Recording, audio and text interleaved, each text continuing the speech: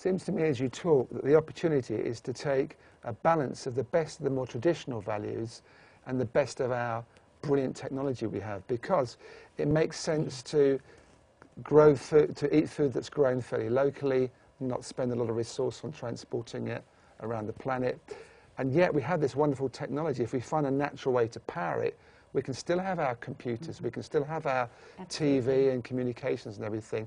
And that is the balance we have to mm-hmm. find. That it's, we have to stop, as you were saying earlier, stop the conflict with each other, come together and balance these balances and just find a way to go forward.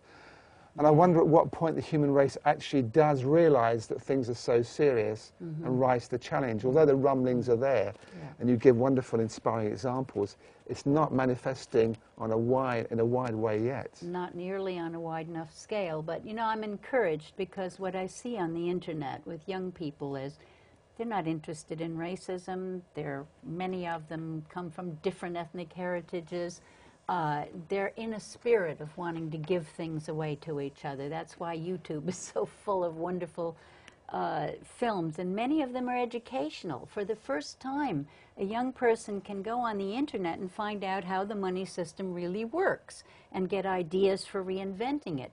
You can invent local money. When the ATM machine yes. doesn't work, yeah. all you need is a local credit union where by computer you can debit when you buy something your account and raise your account when something is bought from you and where everybody has something contribute so that you work together and, and you don't need the money system to get yourself out of a hole but you can also at the same time use it you can use alternatives you don't have to do only one thing so there's lots and lots of opportunity and so much sharing going on on the internet that I think as soon as the crises hit the invention comes out.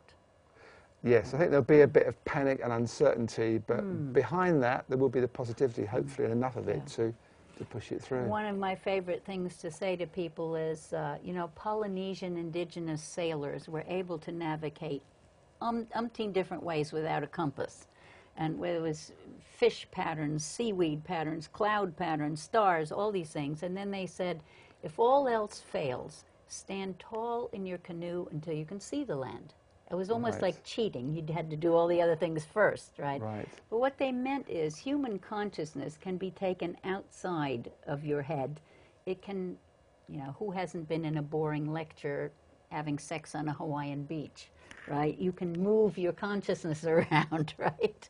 You can think out of the box. You can uh, play with ideas. You can take a break from the human drama, rise above it, see it as a stage play, try to discern the plot. What's going on? Don't waste your time being mad at the bad guys. You know, if you see a play on a stage, you don't say uh, about the actor who's playing the villain, oh, isn't he awful? You say, isn't he doing a great job playing the villain? Right? Yes. So you yeah. stop wasting your energy on accusations and judgments and instead say, here's the drama. I know how it works. This I didn't understand yet. I need to research that a bit to see how does that economy work? What is this money system? Where do I want to play in this great drama of humanity at this time? You choose where you want to play. And I say, make sure you choose something you're really having fun doing. First of all, you were meant to enjoy life no matter how big the crisis is, you can enjoy life solving critical problems, right? So do that. Figure out what the game is. Figure out what are your talents and inclinations. What do you love doing? And find a way to fit yourself into this drama the way I do. I love what I'm doing, so I become an attractor for people. If you're miserable about what you're doing, who will want to do it with you? So get yeah. creative, choose your role, and then play that role. Don't sit back and let life pass you by. Engage in it.